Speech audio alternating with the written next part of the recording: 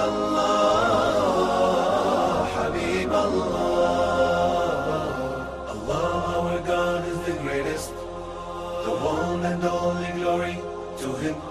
He wanted humans to be the best and give His best religion to them. Kindest prophet and the human to save the world from the devil's lands and give happiness for every man. إن الحمد لله نحمده ونستعينه ونستغفره ونستهديه ونعوذ بالله من شرور أنفسنا ومن سيئات أعمالنا. من يهده الله فلا مضل له ومن يضلل فلا هادي له. وأشهد أن لا إله إلا الله وأشهد أن محمدا عبده ورسوله. We praise Allah, we thank Him, we seek His refuge from our wicked deeds. Whoever Allah led to guidance, to the straight path, no one can mislead him. And whoever misleaded by Allah, no one can lead him. I bear witness that there is no God worth to be worshipped except Allah, and I bear witness that Muhammad sallallahu alayhi wasallam, his messenger and his slave. My brother and sister, we welcome you in this new edition, Forgotten Sunnah, with new episode about the Sunnah, which unfortunately forgotten by many Muslims. And the Sunnah, as you all are aware, is the second source. We have two main sources for our religion. The first source is the Quran, and the second source is the Sunnah. Because Rasulullah ﷺ told us, he said, تركت فيكم ما أن تمسكتم به لن تضلوا أبدا. I left among you, behind me. If you stick to them, two things.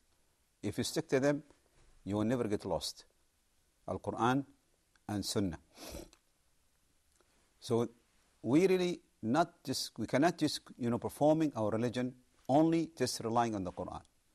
Because the Sunnah is actually, you know, supporting the Quran. And actually, what is the Sunnah? The Sunnah actually, it is the explanation, the commentary of the Quran. So I would now, I will tackle some Sunnah. Uh, the Sunnah I will tackle first one is rain seeking. When we get drought, anytime in case of drought, uh, Rasulullah sallallahu have told us and taught us that anytime we are facing drought, that's mean no rain for a long time, the you know the the land is getting dry, and the farmers are looking for rain, and you know it is like it's going to be a disaster.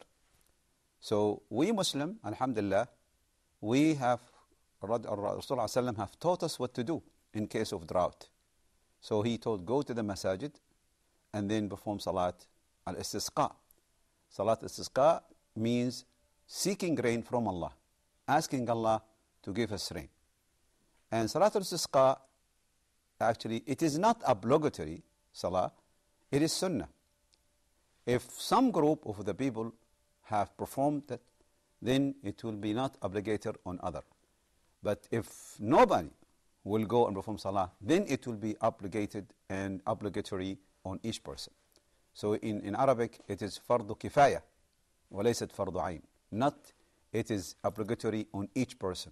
If other people, if another group, but if the all people don't do it, then it's going to be obligatory on each person. How we perform Salat al-Istisqa? Salat al-Istisqa is not different from Salat from Salatul Eid. Salatul Istisqa is the same, you know, like Salatul Eid. And the, the Imam will make Salah and then he will give khutbah. He will perform Salah first, like Salatul Eid. Exactly. You know, the people go, but it is recommended to be performed in the open area, not inside the masjid. But in case of a city or any or any country, like our brothers in non-Muslim country, if they want to perform the sunnah, I mean, if they didn't find a lot, you know, and they did not get permission from the locality or from the, you know, from the Ministry of Interior or or you know the the, the uh, authority from in this specific country, they can perform it inside the masjid. But the sunnah, it is you know salatul istisqa, seeking rain from Allah, should be performed actually in the open area.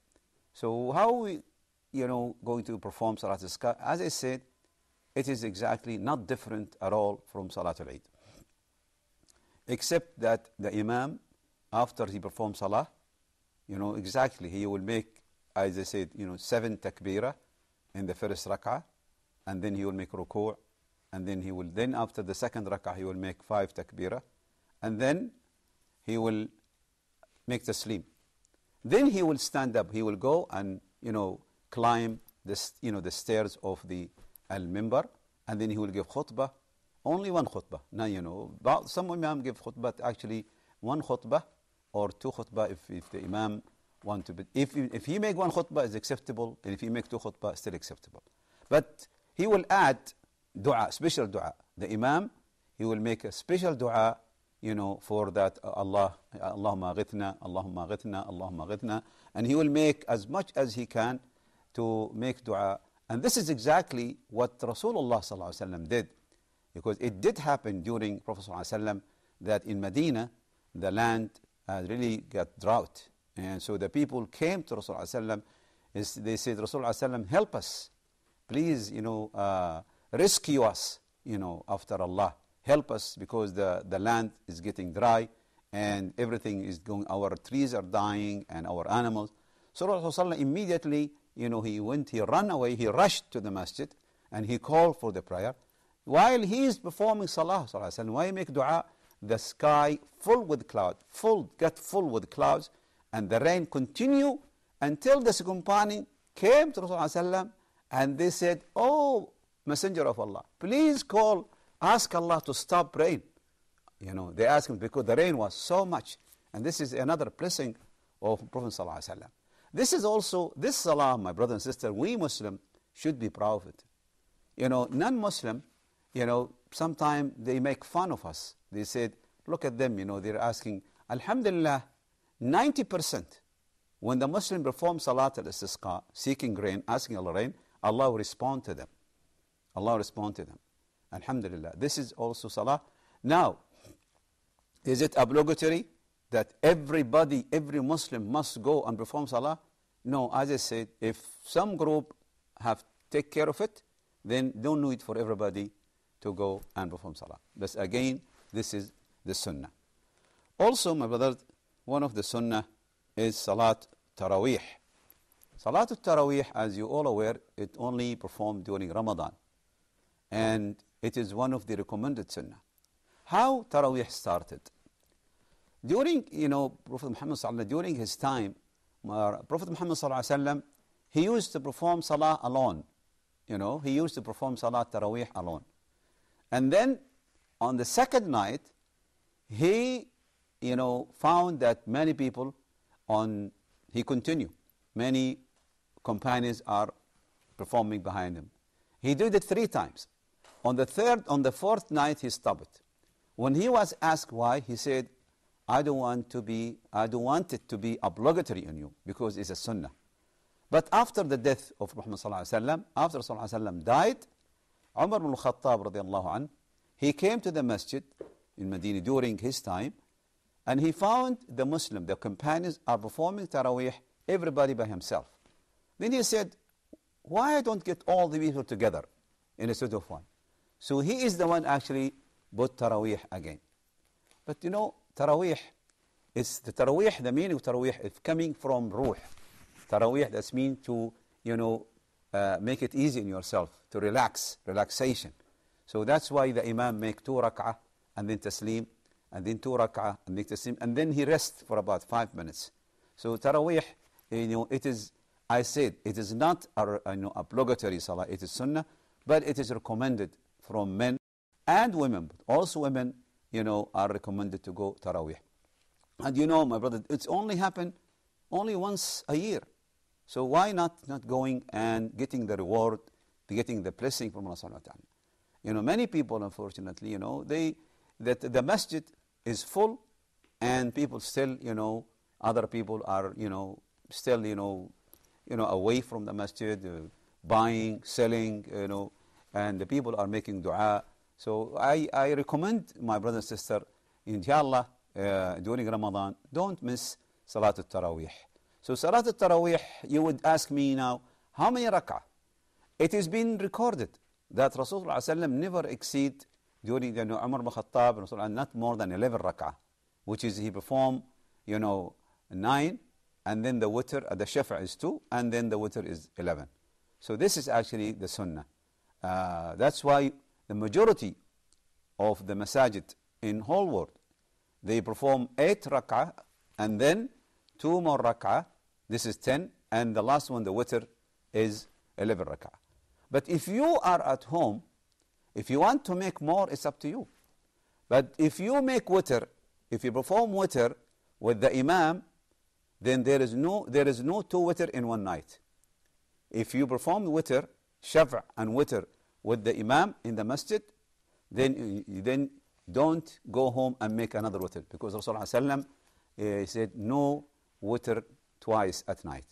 But if you would like to make your own qiyam, your own witr, then when the imam makes taslim on the last rak'ah, the, the, the, the witr, then after he makes taslim, you stand up. Stand up and then make your own witr if you want to do that. If you think that, that you really want to make a long witr, then you can do it at home after the, you have to read the imam. But I, again, I repeat, I, I say to my brother sister, do not miss the Taraweeh because Rasulullah he said, whoever stand with the imam until he finish, and he means Taraweeh, it will be recorded for him like if he standed all night. If you stand the Taraweeh with the imam until he finish, it will be recorded like if you have standed all night. My brother and sister, Stay with us and stay tuned. We'll be back after this break. Assalamu alaikum wa barakatuh.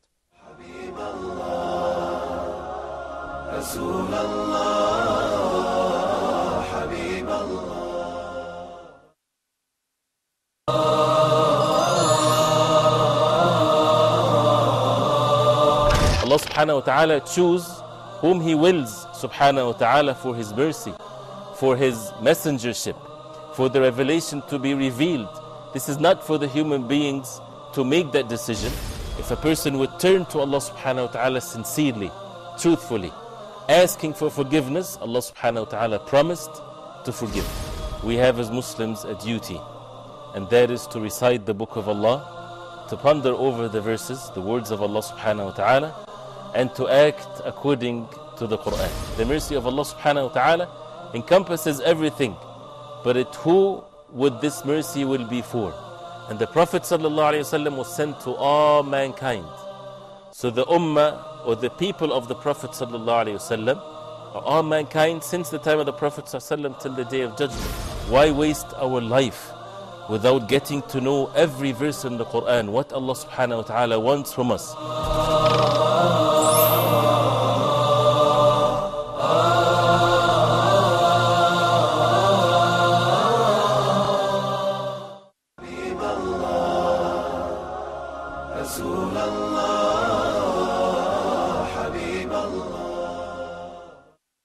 Welcome back, brother and sister. We'll continue our uh, talk about the Sunnah of Rasulullah ﷺ, which is forgotten by many people.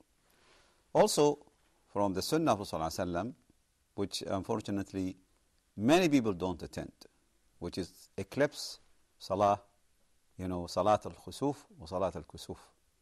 Salat al Khusuf is, you know, when the moon and uh, uh, sorry, al khusuf is al shams and al kusuf is al qamar, the moon. When this take place, first of all, it did happen during the time of Prophet ﷺ that you know the sun uh, has sun eclipse.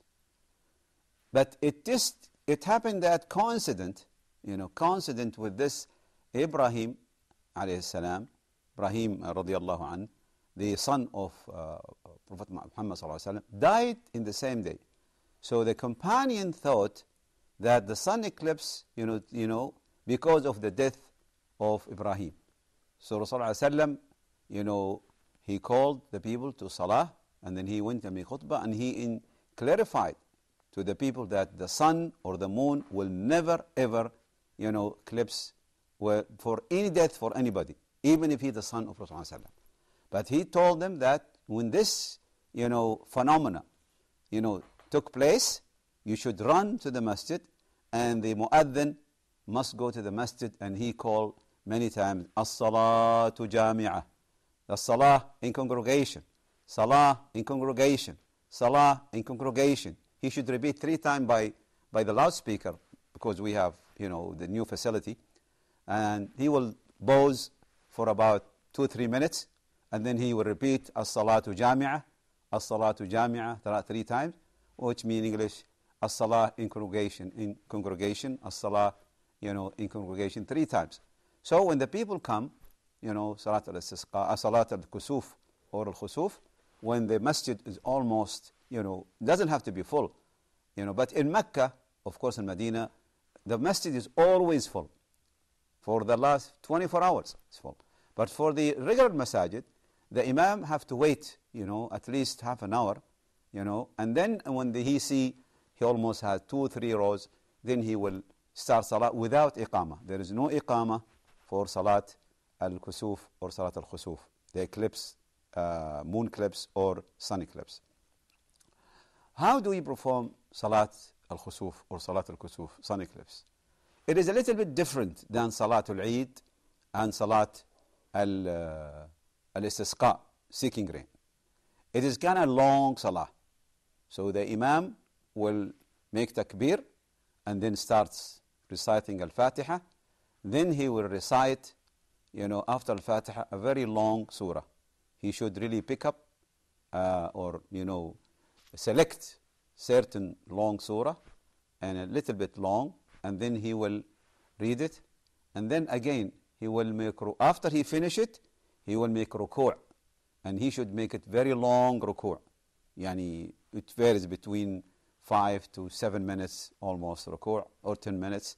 And then he will raise up from ruku' not sujood he will not make sujood he will make he will also he will recite al-fatiha again and make and also after he recite al-fatiha again he will recite another surah, again another surah, but not as long as the first one, a little bit shorter.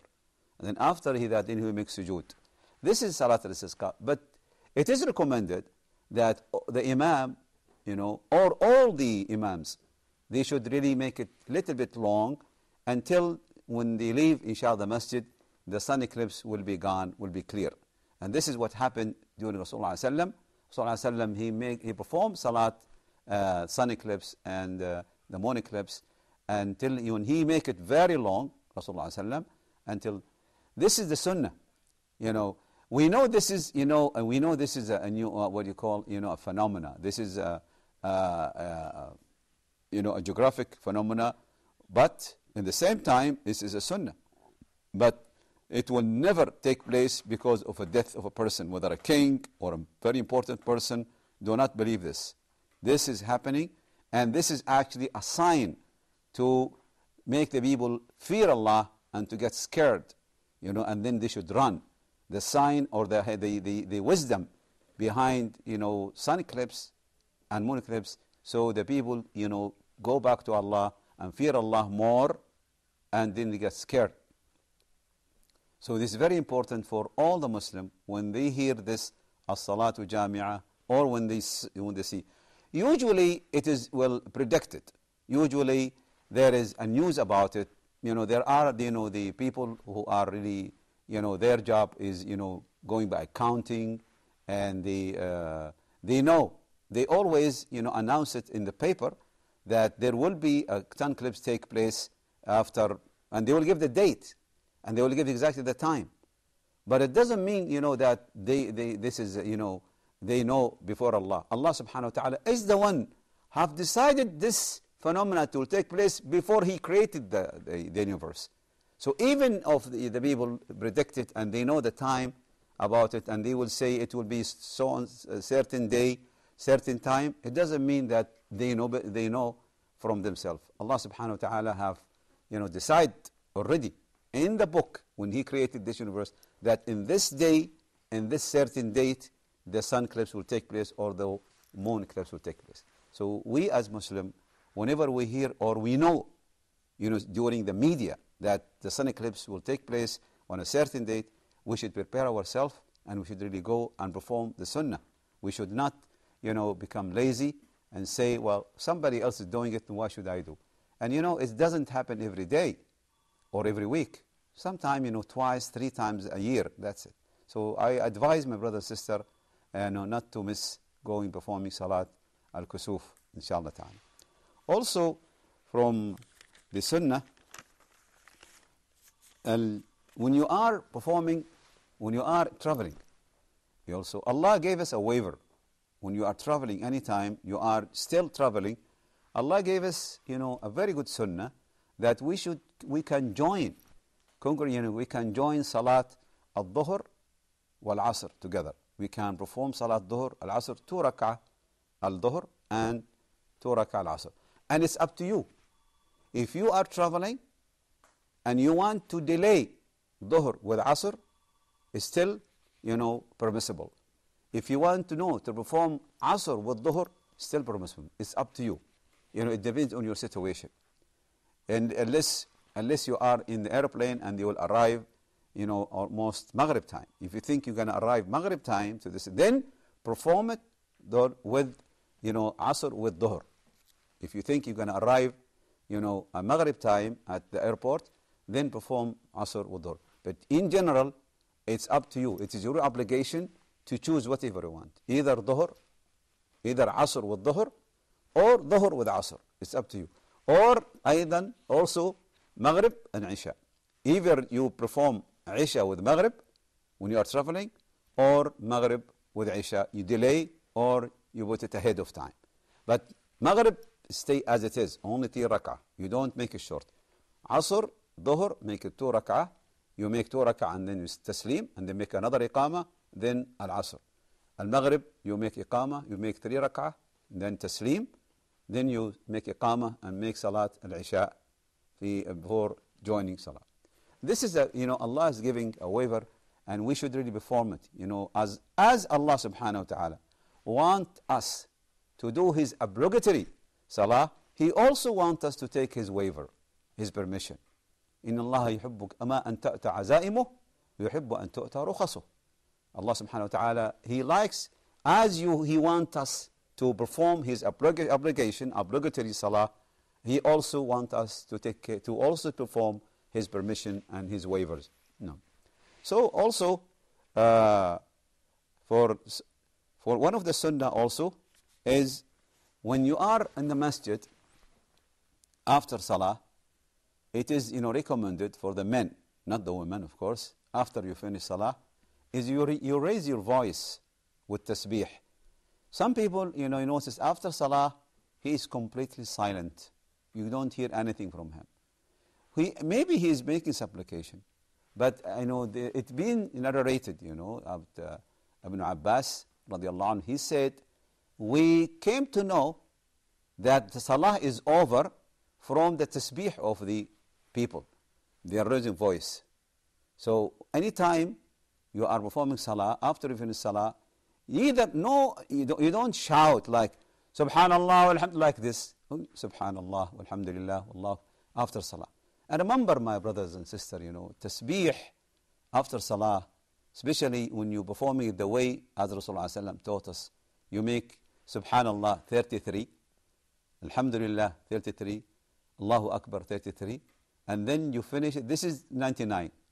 And then you finish it, you complete it with the 100, you say, La ilaha illallah, wahdahu la sharika lah, lahu al-hamd wa ala kulli shayin qadir. Only very rare of people, few people are doing this. Even the reward, you know, the reward of this making tasbih in two, three minutes, Allah will erase, will demolish, will completely, you know, forgive you for all your sins. Even, he said, as even if it's similar to the form and the form of the ocean. ولو كان مثل زبد البحر. So I advise myself and my brothers to really not to leave this, you know, uh, tasbih after salah.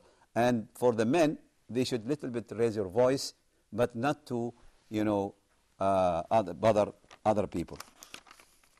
And also, uh, one more just sunnah that many people, especially spouses, they are not performing this. And which is actually when somebody, when the man want to have a sexual intercourse with his, his family, with his wife, it is a sunnah that you really, Bismillah, Allahumma jannibna shaitana wa jannibna shaitan ma Oh Allah, Bismillah, oh Allah, keep the shaitan away from us and keep the shaitan from the thing you're going to give us, the bounties, maybe the boy or the girl. So a sunnah for the man, before he approaches his wife, he should say, Bismillah, Allahumma jannibna shaitana wa jannibna shaitan ma Brother and sister, we conclude our show today. I hope we look see you soon, inshallah. Assalamu alaikum wa rahmatullahi wa barakatuh. رسول الله حبيب الله Allah our God is the greatest the one and only glory to him he wanted humans to be the best and give his best religion to them Allah our God is the greatest the one and only glory to him he wanted humans to be the best and give his best to religion to them. So why did they ignore that? Forgetting all about hell in paradise, worshipping cows, fire and stones, selling the best with the cheapest price. So why did they ignore that? Forgetting all about hell and paradise, worshipping cows, fire and stones, selling their best with the cheapest price.